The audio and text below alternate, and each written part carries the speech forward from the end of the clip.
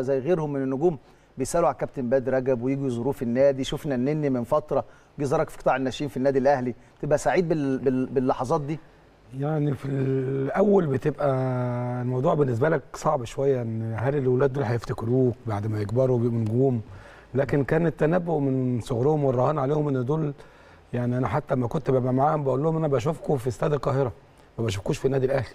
آه. استاد القاهرة ده اللي بيلعب فيه ده انت بالحلم بتاعه للحظة الحلوة. فالمنتخبات الوطنية والفريق الأول في النادي الأهلي فكنت متنبأ لهم من هم صغيرين إن هم هيبقوا حاجة كبيرة جدا.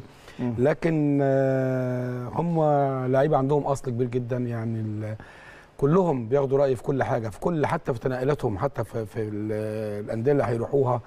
الفترة الأخيرة لما كان عندي بعض التعثرات وكده جم زاروني ونني وكلهم سألوا عليا في التليفون وفيهم ناس جات لي المكتب في النادي لما ابتديت أتعافى شوية. لكن اللي أنا عايز أقوله لك كابتن إن النادي الأهلي بيتعامل حتى مع أبنائه إن إحنا دول ولادنا ودول عيلة من العيلة بتاعت النادي الأهلي من قوام النادي الأهلي من هم حتى لو لعيب خرج من النادي. حتى لو خرج من النادي الأهلي بيرجع لك ويقول لك كابتن نروح أنهي نادي لأن إحنا بنربي فيهم الشخصية بنربي فيهم الانتماء والانتماء ده مش للنادي الأهلي بس م. إحنا بنخليه ينتمي للنادي الأهلي وللمنتخب الوطني المصري. م. بالتالي كل لاعبتنا الحمد لله أغلب لعيبه المنتخبات في الوطنية بتبقى من النادي الأهلي لأنه بيتربى على إزاي يبقى مخلص ومنتمي لبلده والنادي. فدي حاجة كويسة في الولاد بتوعنا بصراحة يعني. هنروح لآخر تجربة. كان من أيام قليلة مجموعة من اللاعبين الأفارقة خاصة من غانا لعيب من السنغال تم الاستعانة بيهم في قطاع الناشئين. عين الكابتن بدر رجب العين الحلوة اللي بتنتقي اللاعبين المميزين إزاي شفت التجربة دي يا كابتن بدر؟ وإزاي شفت اللعيبة اللي جت عن طريق الكابتن هاني رمزي وال scouting والنادي الأهلي؟ اولا خلينا نحيي مجلس الإدارة م. اللي بيفكر في مستقبل النادي الأهلي. م. ما هو مش شرط اللعيبة دي تبقى للنادي الأهلي بس. م. آه ممكن آه تبقى تدخل دخل للنادي الأهلي نبيعها ونجيب دخل للنادي الأهلي. فده آه استثمار في اللعيبة الأفارقة ودي حاجة جديدة.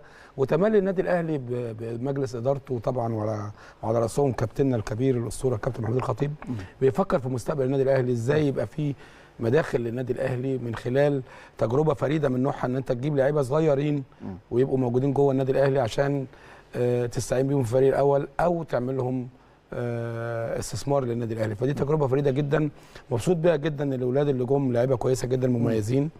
فيهم اثنين لعيبة إحنا اخترناهم أو ثلاثة لعيبة. مميزاتهم إيه؟ يعني سمول أوسونج ده مهاجم شرس جدا. متحرك بيلعب رجلين الاثنين آه ما بيسيبش المدافعين يلعبوا براحتهم بيضغط على أي مدافع موجود.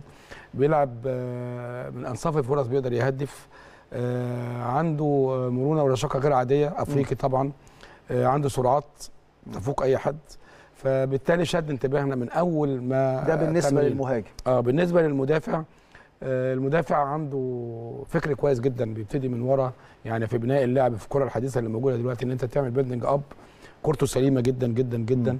اشتراكاته في استخلاصه للكوره شيك جدا من اللعيبة الشيك جدا بتوع زمان بقى اللي هم ال ليبروهات بتاعت زمان اللي هي بتلعب كورة. وهو بيلعب أنت قلت شبه الغزال إبراهيم يوسف. فعلا شبه الكابتن المرحوم العظيم الكابتن إبراهيم يوسف اللي كان ليبرو مصر ونادي الزمالك. والولد عنده اشتراكات في الكور العالية سواء في الناحية الهجومية أو الناحية الدفاعية بيستخلصها كويس وبيلعبها كويس.